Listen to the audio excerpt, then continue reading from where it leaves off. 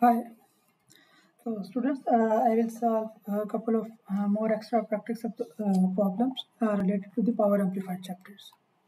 So the, uh, the first question is, uh, we have this circuit and for the following amplified circuit, the VCC is 17 volt. So this value is given 17 volt. RB value is 5.2 kilo. So this is given 5.2 kilo. The current gain beta is 93 calculate the value of RL.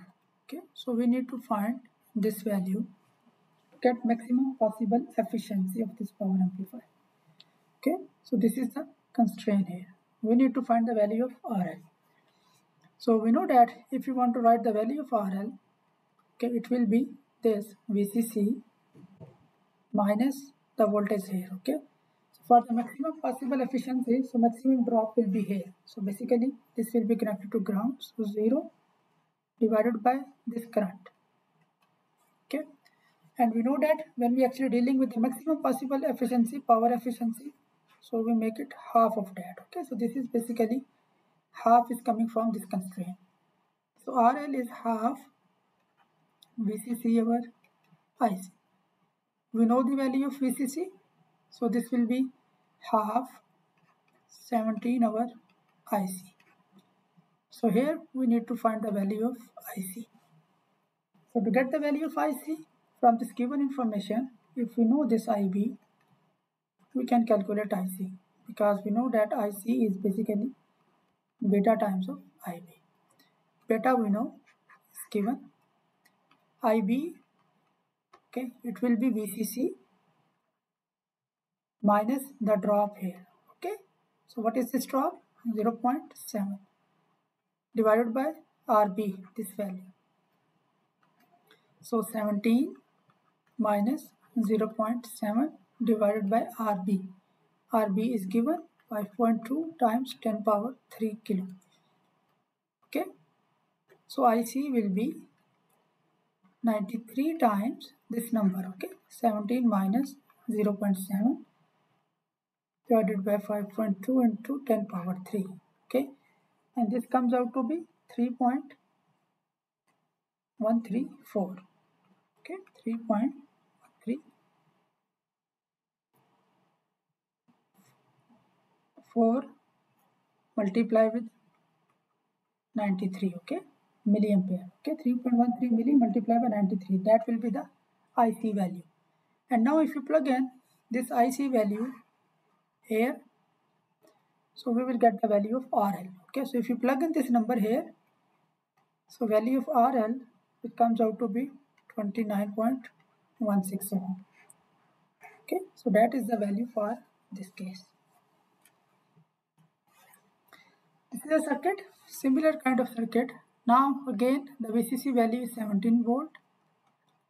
RB value is 14.6 kilo RL value is given 3.9 ohm.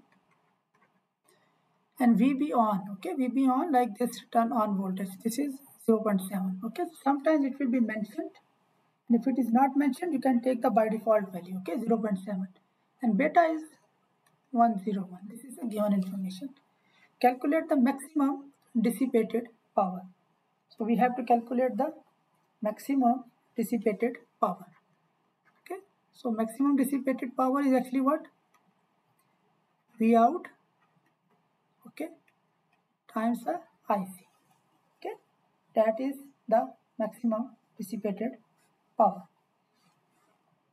So in this case we need to find v out and ic this is v out. So what is the formula for v out? So here v out will be vcc this voltage drop minus the voltage drop across this resistor so ic times rl okay? So now we need the value of ic right?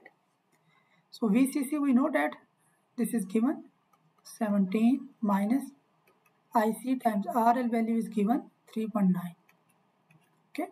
So to get v out we need icc and ic we know that is basically based on given information beta times IB. Okay, beta is 101 and IB will be again this voltage VCC 17 minus a drop here 0.7 divided by this resistance 14.6 K. Okay, so this is the value of IC. Okay, so actually this comes out to be 101 and this is basically become 1.116 times 10 power minus 3 okay so you can simplify more. Okay so now here you know the value of IC you can plug in this value here and you will get the value of V out okay and also you can use the same value here IC okay so if I write the power dissipation that will be V out. V out is basically what? 17 minus IC IC is what? This value. Okay 101 1.116 okay this is basically IC times RL 3.9 times IC again this number. So you can simplify and you can do use it directly. I'm just writing it as it is. So the answer will be 1.87 watt okay? This is the maximum dissipated power. Let's see the next question. We have an amplifier and uh, with a speaker of 6 ohm okay? So this uh, speaker is have a resistor of 6 ohm okay? It's given. Calculate the value of vceq we need to find the value of this okay? Vceq and you know that we have this uh, DC line characteristics for such cases. So basically this is the point of VCEQ which we have to find in this case. Given that VCC is 11 volt, VCC is 11 volt, beta is 27 for example, these are the given values. RE is 9 ohm, this value is 9 ohm. Transformation ratio is 6 to 1, okay. So here, what is the transformation ratio? 6 to 1 right? And the value of IC is given. Okay? This is the given value of IC this is also given. Okay? And our target is here to calculate the VCE Q. So if you write the formula for VCEQ here so that will be basically what? Okay? From this uh, equation. So how we can get uh, this value here. So VCEQ is basically the drop here, okay, and the drop here, right? VC minus VE, that is the drop here at the Q point, okay. Now here VC, okay, that uh, we can find easily. Okay that is basically the current uh, which is flowing through here. Okay. In our case that is basically given. So vc is basically connected here through this transformer. Okay so this is basically 11 volt minus ve the voltage drop here. So here voltage drop will be this current icq which will be flowing through here times the value of re So we know the value of this RE also. So this is basically 11 minus ICQ times RE is, is given 9 ohm. Okay. So, so we are left with this value. So now we need to find ICQ. So if we can find the ICQ, we can get our desired uh, VCEQ. So what is ICQ here?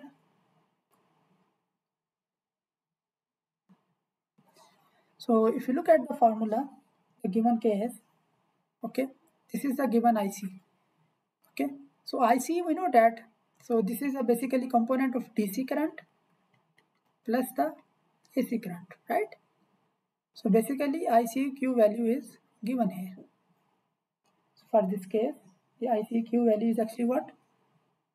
61.6 okay DC ICQ DC plus the AC component. Okay, so this is basically the AC component here. Okay, the uh, the AC component which we can get here.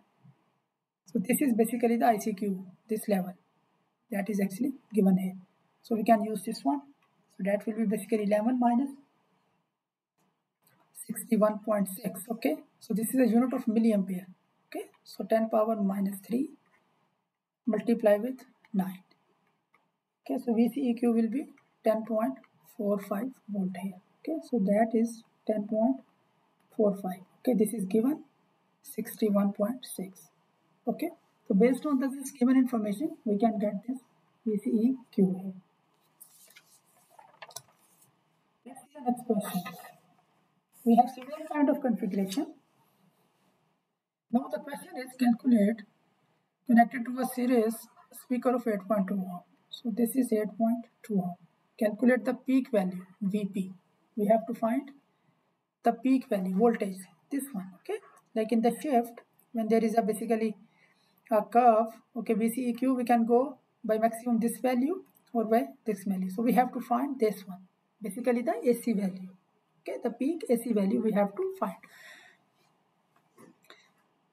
The given information is VCC is 11 volt transistor gain is 29 RE value this here is 17 ohm. Transformation ratio again is 6 into 1 okay?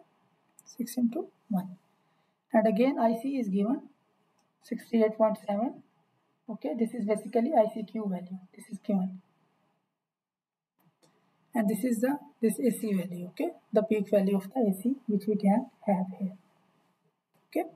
So like this is a small IC okay that is basically that value.